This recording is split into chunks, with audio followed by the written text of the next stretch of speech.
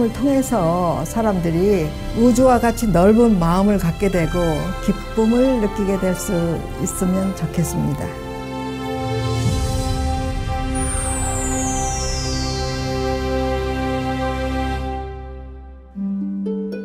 캘리포니아 남부에서 가장 아름다운 곳 라구나 비치는 예술인 마을이다.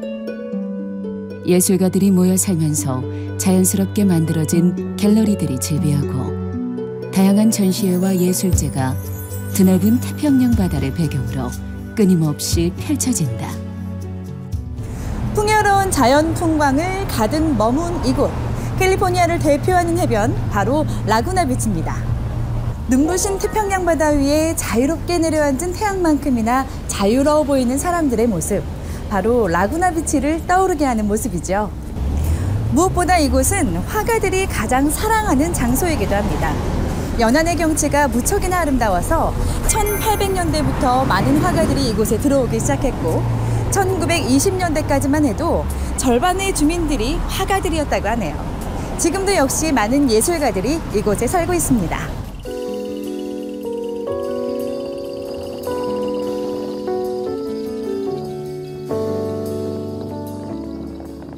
예술과 음악, 미술품 전시, 그리고 이벤트와 축제가 다양하게 펼쳐지고 있는 이곳. 이곳에서 다양한 예술가들의 작품을 만나실 수 있는데요. 예술가 마을이다라는 이름의 명성답게 그 빛을 발하고 있습니다. 미국의 화가들이 사랑하는 이곳에서 한국인으로서 활발하게 활동하고 계신 작가분이 계십니다. 오늘의 주인공 홍선의 작가님을 만나보겠습니다.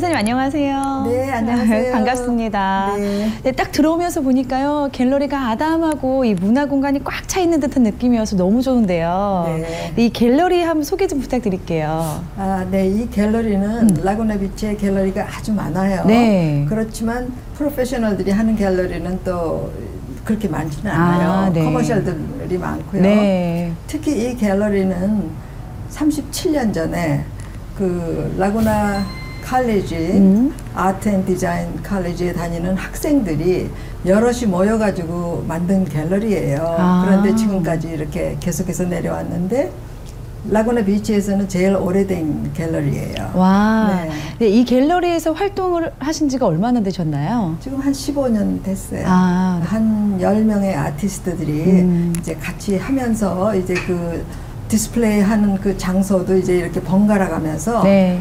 해요. 네. 듣기로는 이제 한국에서 어, 공부를 하시고 미국으로 와서 활동을 시작하신 것 같아요. 네. 얼마나 되셨어요? 원래는 이제 제가 고등학교를 졸업하고 네. 미국에 오기로 다 돼 있었어요. 그런데 그때 마침 또 서울대학에 무시험으로 합격이 됐어요. 음. 우리나라에서 이제 한 명뿐이었죠. 와. 네, 그러니까 이제 아버님께서 나는 아무래도 여자니까 또 좋은 학교에 그렇게 됐으니까 대학을 마치고 가는 게 어떠냐. 그래서 이제 미국에 온 거는 66년에 대학을 졸업하고 그 해에 뉴욕으로 왔어요. 아, 근데 지금 들어보니까 현재 작품 활동 외에도 미국에서 여러 가지 활동을 하신다고 들었는데요. 네. 잠깐 소개 좀 부탁드릴게요. 여기 한미 여성회라고 있어요, LA에. 거기에 지금 현재 이사로 있고 KYCC라고 그 youth center가 있는데 거기에서 어, 그림도 가르치고 또 한미 여성회에서는 이제 summer school로 애들 어, 일주일 동안 art class도 하고 또 때로는 여기 Laguna Beach Museum이 있어요. 네. 거기에서 이제 그 summer art school을 한 2년 하고 네. 그냥 될 수 있는 대로 시간 나는 대로 하려고 그래요. 네. 이제는 본격적으로 선생님의 작품에 대해서 한번 이야기를 나눠볼까 합니다. 딱 보니까요. 와, 되게 신비로운 세계. 이게 네. 딱 눈에 뜨거든요. 아니면 네. 하늘에서 떨어지는 별똥별 같은 느낌. 이런 막 기분이 드는데요. 네. 여러 가지 주제들 중에서 특별히 우주를 주제로 하신 이유가 있을까요? 네, 제가 아, 그 DVD를 본 거는 10년도 더 됐어요. 어떤 DVD죠? 아, 칼 세이간이라고 미국의 유명한 천문학자인데 음. 그 사람 DVD를 보고 아주 제가 우주에 아주 매혹이 됐어요. 네. 그 아름다움에 매혹이 되고 또 그 파워하고 스피드니 뭐 이런데 아주 매혹이 돼가지고 그때부터는 이 우주를 띠임으로 해가지고 계속 그림을 그리고 있습니다. 네. 어떤 부분이 그렇게 매혹적으로 와닿으셨나요? 우선 그 파워 우리가 상상할 수 없는 파워 있잖아요. 음. 그 천체들이 움직이는 거. 또 그 속도라는 게 우리가 상상할 수 없이 속도가 빠르잖아요. 네. 또 에너지 이런 것들이 이제 제가 매혹이 됐고 또 저는 아무래도 Christian이니까 또 spiritual한 면도 또 있죠. 네. 그래서 그 두 가지를 합하려고 노력을 하고 있습니다. 네. 지금은요, 우주에 대한 깊은 성찰을 통해서 이렇게 작품을 그리셨는데, 작가님이 젊었을 때는 어떤 작품에 관심을 가지셨나 궁금해지거든요. 20대, 30대, 40대는 어떤 작품을 쓰셨을까요? 그러니까 한 50대까지는 젊어서부터 50대까지는 이 인간에 대한 관심이 많았어요. 이 남녀의 관계라든가 뭐 좀 이모셔널한 그런 감정적인 거라든가 이제 60대 초기에 칼 세이건의 DVD를 보고 이제 인간으로서도 많이 성숙했겠죠. 제가 네. 그동안 그러니까 이제 스피리추얼한 것도 자랐고 음. 또 관심 그 DVD를 보고 관심이 우주에 쏠리기 시작했어요. 뒤에 있는 작품을 보니까요, 아, 정말 신비한 세계, 그 우주의 그 에너지가 느껴지는 것 같거든요. 네. 작품 소개 좀 부탁드릴게요. 아, 네. 그래요. 여기에 지금 음. 이, 이 움직이는 것들이 굉장히 빠르게 있잖아요. 아. 이런 것들은 그 우주의 그 별들이 빨리 움직이는 거 음. 그런 거를 포착하려고 그랬어요. 음. 그리고 이 색깔들은 그 우주의 이제 색깔이 밤하늘에 보면 별들이 반짝반짝 하는 것 같이 우주에도 여러 가지 색깔이 있다고 상상을 하고 그것들이 이제 막 서로 엉켜서 움직이는 거예요. 음. 우리가 얼뜻 보면은 이게 아주 케이오스 같지만 그 우주에는 아주 정난하게 질서가 있어가지고 움직이고 있어요. 그래서 이제 그런 것들을 표현하려고 그랬죠. 네. 자세한 설명을 들으니까요, 정말 우주의 에너지가 느껴지는 것 같아요. 네. 그런데 뒤에 있는 작품 보니까 조금 느낌이 다른데요. 아. 네, 이것도 좀 설명 부탁드릴게요. 네. 아, 그 작품도 이제 그 내용은 다 같은 거지만 이제 표현이 조금 다른데 우선 위쪽에 그 까만 거는 하늘을 의미하는 거예요. 저희들이 하늘 생각할 때 상상할 때 우리 전부 모든 게 미지수잖아요. 네. 그래서 그게 이제 까만 거로 표현을 해봤고 그다음에 그 닷들은 별을 이제 상상하면서 한 거고 그 맨 밑에 오렌지 색깔 같은 거 그거는 어, 황혼 그 인간의 황혼이라 네. 그럴까 그리고 옐로는 아주 해피한 거예요 네. 그, 그거는 이제 스피리추얼한 거그 종교적인 마음에서 그 기쁜 마음 그런 게 노란색으로 나오는 것 같아요 네. 그래. 우주에서부터 자연하고 인간까지 이렇게 네. 하나로 조합된 모습이 아주 보기 좋은데요. 네. 제가 해석을 잘하는 건가요? 네 저보다 더 잘하세요 네. 이런 작품을 하나 완성하는데 굉장히 많은 시간과 노력이 들어갈 것 같은데요. 하나 완성할 때 얼마나 걸릴까요? 오래 걸려요. 그쵸. 이게 지금 보면은 평면 같지만 이 밑에 이 레이어가 음. 한 100번은 돼요. 네. 그러니까 뭐 쌓이고 쌓이고 또 쌓인 거죠. 네. 이런 거 하려면은 적어도 한 1년은 걸려요. 아, 작품 하나에 기본적으로 1년 정도. 네. 아니 네. 큰 거는 이렇게 큰 대작은 네. 그리고 어 뒤에 작품도 한 6개월은 잡아야 돼요. 음, 저같이 좀 지식이 부족한, 예술이 부족한 사람들은 어떻게 보면 어린아이들이 그냥 물감을 착착착착 뿌려놓은 것 같이 볼 수도 있을 것 같아요. 그런데 분명히 아이들 작품과 또 이렇게 깊이 쓰신 작품은 차이가 있을 것 같은데요. 네. 어떤 그러니까 부분이? 짧은 시간에 네. 즉흥적으로 한 거는 그대로의 맛이 있지만 저는 그래도 작품을 좀 깊이가 있는 게 좋아요. 네. 그래서 그런 깊이를 내려면은 아무래도 오랜 시간에 해보고 또 해보고 하면서 좋은 작품이 나오는 것 같아요. 네. 우주에 대한 영상들은 홍선의 작가에게 무한한 창작의 도구가 되어주었다. 대영화 폭의 우주의 세계를 코스믹 드림 시리즈로 재해석하기 시작한 후 그녀의 작품들은 특히 주류 사회 미술 애호가 수집가의 큰 호응을 얻었다.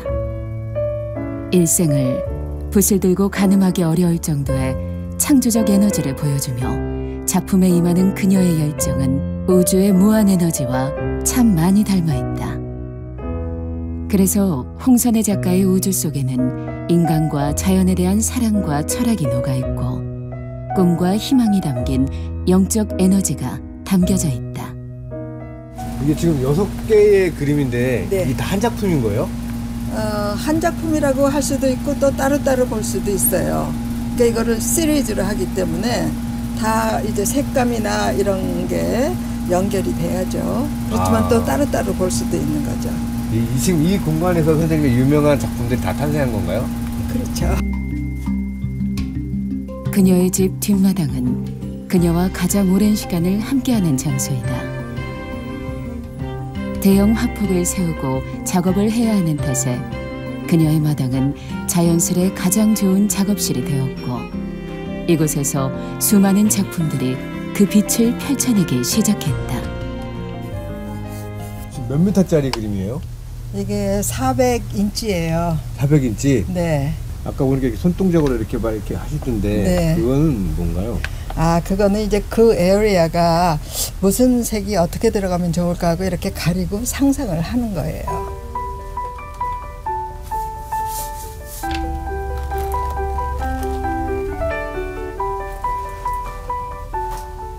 힘들지는 않으세요 이렇게? 어, 오히려 더 좋아요. 시원해요. 네. 그렇게 큰 거를 어, 하면은 그 에너지가 아무래도 크게 나오잖아요. 그리고 크게 움직이는 게 이제 그 천체의 움직임하고는 비교할 수도 없지만 어, 기분이 좋아요. 이 뒷마당은 선생님한테 어떤 공간일까요? 어, 글쎄 저로서는 저의 작은 우주와 마찬가지 같이 생각이 들어요.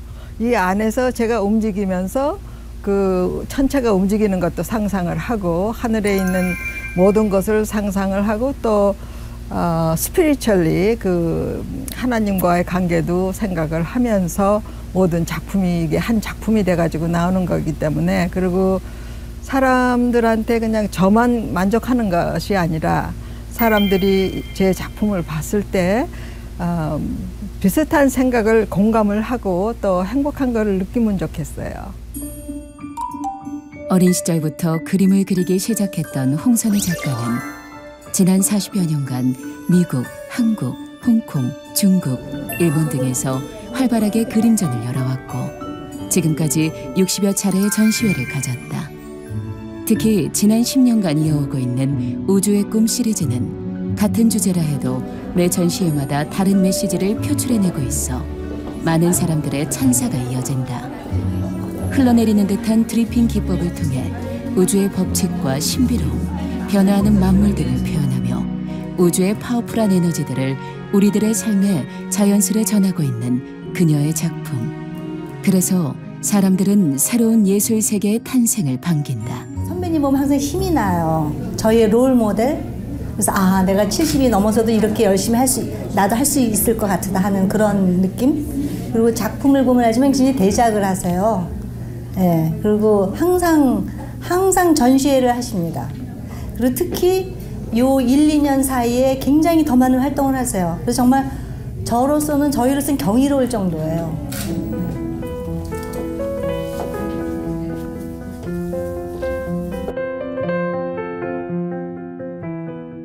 이 내면에서 자꾸 이렇게 하고 싶은 욕망이 일어나기 때문에 뭐 피곤하거나 뭐 이런 혹시 피곤할 때도 있겠지만 그런 거를 생각하지 않고 계속해서 자꾸 하게 돼요. 그런데 주위에서는 이제 뭐 이렇게 늦게까지 열심히 한다고 많이들 말씀하세요. 근데 저는 뭐 열심히 하는 것보다 하고 싶으니까 계속해서 하, 하다가 이렇게 되는 거예요.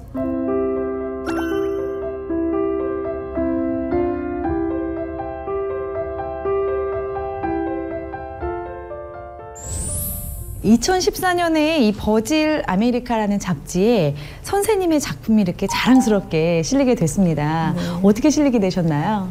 네, 저는 뭐 생각도 안 했었는데 이제 우리가 갤러리 오프닝에 이제 다니잖아요. 그러면 사람들을 자연히 만나게 돼요. 근데 그 중에 이제 이 버질 아메리카의 사장님이신가 봐요, 그분이. 네. 그분을 이제 만나게 됐죠. 그래서 그분이 저한테 컨택이 왔어요. 카버에 한번 나오시겠냐고. 그래서 뭐 아, 흔쾌히. 아무래도 네. 기분이 어떠셨어요? 아, 좋죠. 여러 사람들하고 같이 나눌 수 있는 음, 그게 아주 기쁘죠. 네. 이렇게 유명한 잡지에 작품이 실리게 되면 많은 분들이 좀 알아보실 것 같은데요. 그 이후에 좀 변화가 있으셨나요? 제 자신의 변화는 이제 없지만 많은 사람들이 제가 모르는 사람들이 저를 알게 되는 것 같아요. 음, 네. 그래서 뭐 어- 어디서 만나서도 이제 저한테 이제 인사를 하고 그러니까 굉장히 기뻐요. 네.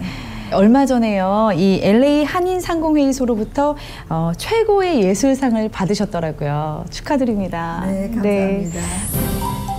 LA 한인 상공인들의 연중 최대 축제인 상공인의 밤. 한인 및 주류 사회 각계 인사 등 350여 명이 참석해 뜻깊은 행사를 가졌다.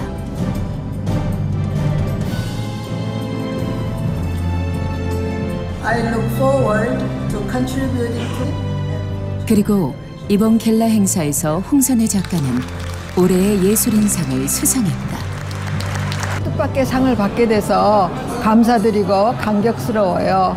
상을 받게 되니까 앞으로 더 많은 좋은 작품을 해야 될 거, 되겠다고 생각이 들고 또 사회에 봉사도 더 많이 하고 앞으로 그 새 generation, 새 세대들을 위해서 함께 일하고 싶어요.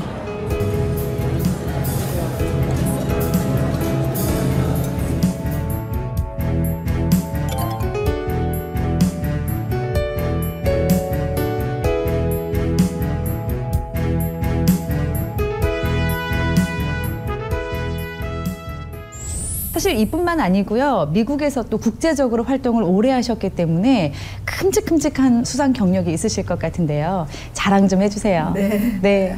우선 72년에 어, 폴 리비어 어워드라는 게 있어요. 네. 그거는 음악계 통으로 그 1년 동안에 출판된 작품 중에서 이제 상을 주는 건데 어, 제가 거기서 최고상을 받아가지고 받게 됐어요. 네.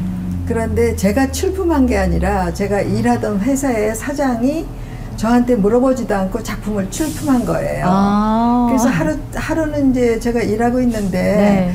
제 책상 앞에 와가지고 축하한다고 그래서 제가 저는 이제 깜짝 놀라서 무슨, 무슨 일인가? 그랬더니 어, 그랬더니 제가 1등을 했대요. 그래서 미국에서 1등한 셈이죠. 와. 그리고 거기에 나온 거는 이미 출판된 거니까 전부 프로페셔널들이 출품한 거예요. 네. 그래서 아주 기뻤고요. 네. 또 그 해에 또 Creativity 72라고 그거는 이제 그래픽 디자인 하- 하는 사람들이 어, 출품하는 거예요. 그래서 거기는 상은 1, 2등 이렇게 상은 없고 이제 출품한 사람 이제 거기에 합격한 사람들은 전부 프로페셔널로 어, 치는 거예요. 네. 그리고 또 그 해는 상을 많이 받았어요. 와. 네, 또 LA에 와서 Bechtel Art Festival이라는 게 있어요. 네.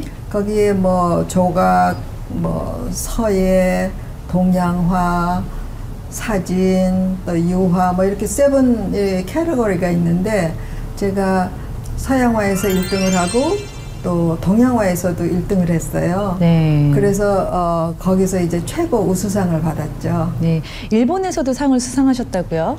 올해 5월 말에 부산에서 어, international fair가 있었어요. 그래서 그거를 끝나고 이제 원래는 이제 미국으로 다시 들어올라 그랬는데 평창 올림픽에서 후원하는 어 그러니까 평창 올림픽을 프로모션하기 위해서 하는 전람회인가 봐요. 인터내셔널 쇼가 일본에서 있었어요. 근데 거기에다가 작품을 좀 내달라고 초청이 왔어요. 근데 날짜를 보니까 부산에서 작품이 끝나자마자 곧장 가면 되겠더라고요. 네. 그래서 제가 가기로 했죠. 그런데 갔는데 제가 생각지도 않게 뜻밖의 또 거기서 grand 어, grand prize를 줬어요. 와, 지금 들고 계신 것 좀 보여주세요. 네, 이게 거기서 대상이라고. 받은 겁니다. 네. 네. 평창 동계올림픽 기념 동경 국제전에서 네. 대상을 자랑스럽게 받으셨습니다. 축하드려요. 예, 감사합니다. 또 세계적으로 유명한 화가 중에서 또 살바도르 달리와 또 특별한 인연이 있으시다고요. 네. 아, 달리가 뉴욕에 1년에 두 번씩 왔어요. 그러면은 이제 뉴욕의 St. Regis 호텔이라고 어. 그래서 파티를 하는데 이제 파티라는 거는 각가지 예술에 종사하는 분들을 다 초대해요. 음. 문학에서부터 뭐 art에서부터 여러, 여러 가지 이제 그래서 거기에 한번 초대돼서 갔는데 네.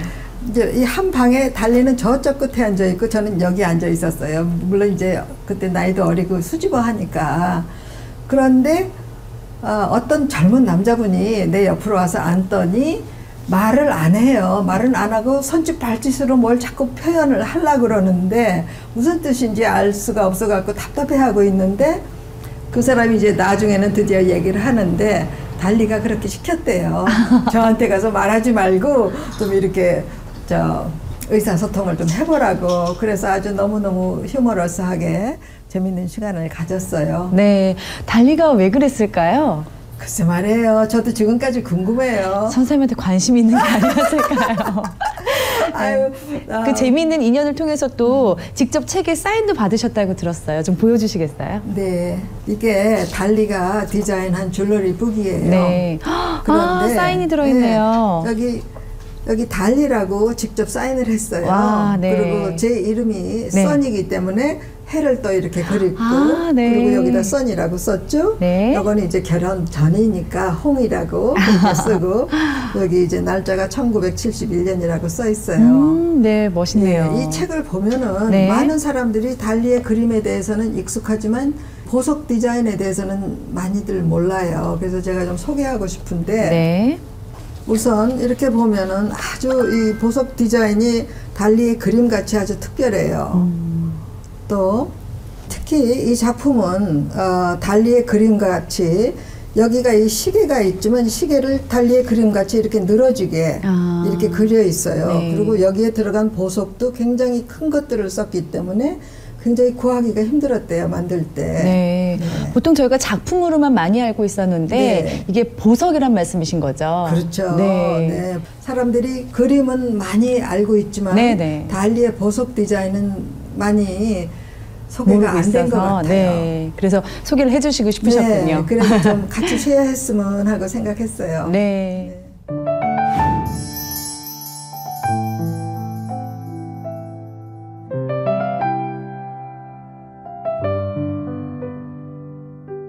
시간 작품 활동을 하셨잖아요. 네, 한 분야에서 온 인생을 다 바친다는 게 사실은 쉽지가 않거든요. 선생님의 그 열정과 그 인생관, 이 미술에 대한 어, 마음 그런 걸 표현한다면 어떻게 표현할 수 있을까요? 그거는 모든 예술가가 같은 것 같아요. 뭐 음악이나 미술이나 다 그 자기의 열정이 있기 때문에 그냥 자꾸 끌려가게 되는 것 같아요. 앞으로는 어떤 작품을 계속 하고 싶으신가요? 우주라는 게 너무 광활하고 우리가 모르는 것도 많고 또 거기에 이제 그 스피리추얼한 것도 이제 컴바인을 하게 되면은 네. 정말 너무 무궁무진한 것 같아요. 네. 그래서 앞으로도 계속해서 그런 같은 내용으로 그림을 그리고 싶고 작품을 통해서 사람들이 우주와 같이 넓은 마음을 갖게 되고 또 이 작품에서 오는 그 색깔이나 어, 구도 구도에서도 이제 나올 수가 있죠. 그 광범위한 느낌을 그런 거를 통해서 기쁨을 느끼게 될 수 있으면 좋겠습니다. 와, 우주의 신비로움을 어떻게 작품에 표현할까 저게 굉장히 궁금했었거든요. 오늘 작품을 보고 또 선생님과 인터뷰를 나누다 보니까 아, 그렇게 창의적인 마음이 담겨져 있구나. 또 새삼 느끼게 돼서 너무 즐거운 시간이었습니다. 앞으로도 그 열정과 에너지를 더 많이 담아서 더 좋은 작품 기대하도록 하겠습니다. 오늘 감사합니다. 네, 감사합니다. 고맙습니다. 미국뿐 아니라 한국, 일본, 홍콩 등에서도 전시회 초청이 끊이지 않는 홍선의 작가. 미지의 신비로움을 가진 우주처럼 앞으로도 새롭게 탄생할 홍선의 작가의 특별한 우주를 기대해 본다. 여러분들이 저를 사랑해 주시고 그렇게 초대를 해 주시니까 어, 아주 감사드리고 지금 앞으로 서울에서 개인전 계획이 돼 있고요. 그리고 이런 아트 페어 같은 게 있으면 더 나갈 생각이 있습니다.